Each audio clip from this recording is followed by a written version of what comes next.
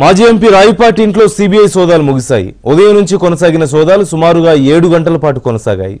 Transstroy company అంశంలో రాయపాటి ఇంట్లో సోదాలు నిర్వహించింది సిబిఐ బృందం. హైదరాబాద్ గుంటూరులో సిబిఐ తనిఖీలు నిర్వహించారు.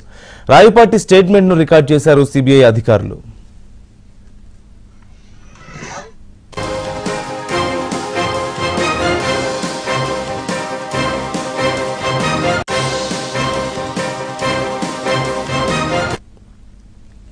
గత ప్రభుత్వ హయాంలో పోలవరం ప్రాజెక్టు పనులను దక్కించుకున్న రాయిపాటికి సంబంధించిన ట్రాన్స్టాయ్ కంపెనీ ట్రాన్స్టాయ్ పై పలు ఆరోపణల నేపథ్యంలో గతంలో కూడా సోదాలు నిర్వహించారు.